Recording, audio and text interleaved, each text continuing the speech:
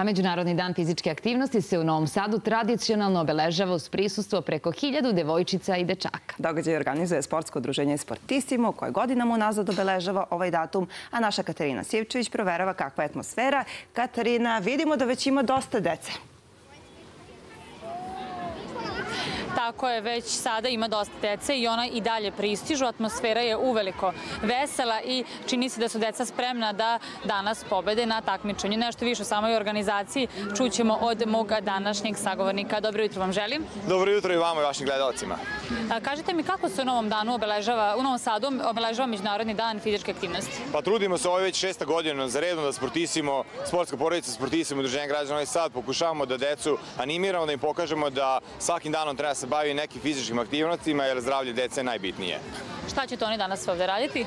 Pa unazad smo kroz studije i osušavanje dece šta najviše vole, to jeste vijača i mislim da to je jedan dobar pokazatelj da ne treba nikakve sprave velike, da to mogu da rade u svako doba dana, u kući, na igralištu, na terenima, u školi, da pokreću svoj organizam i da, da se trude da žive i da, i da koračaju nekim zdravim životom. Koliko zapravo možemo kroz igre i društvene aktivnosti da postaknemo decu, ali i odrasle, da porade na svojoj fizičkoj aktivnosti? Pa mislim da ne postoji uzrast za, za bavljanje sportom, pogotovo rekreativnim. Mislim da treba svako od nas da se bavi nekim zdravim načinom života, da se kreće, da šeta, da trči, da preskače igračke, e, vijače i da pokušavamo da, da sami sebi pomognemo kako bi pomogli našem društvu i da živimo u jednom lepom i srećnom gradu. Hvala vam na razgovoru. Hvala vama isto. Sa mnom su danas ovde i deca koje će se takmičiti. Kaži mi kako se zoveš? Lazar. Lazar, jel se danas takmičiš ili samo navijaš za Dariju? Navijam za Dariju i za ostale drugare koje se takmiče. A ti se ne takmičiš? Ne. Zbog čega? Zato što e, smo u školi, zato što smo u školi birali ko je najbolje preskače vijaču i ja nisam bio među njima i ja sam ja sad navijam. Dobro, ali sledeće godine ćeš pokušati ti da budeš još bolji? Da. Dobro, kaži mi kako se ti zoveš? Natalija. Natalija, da li se ti takmičiš? Takmičim se. Koliko si puta uspela da preskočiš vijaču?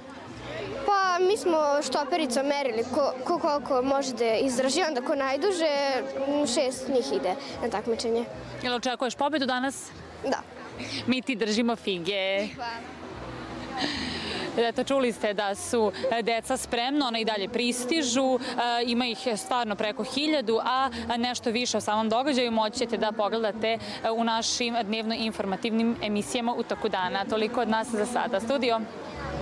Hvala puno, Katarina. Da, zaista si nam poslala prelepu sportsku sliku.